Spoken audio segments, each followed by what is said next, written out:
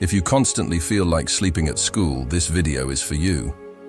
China has developed special desks for children that disassemble to sleep on.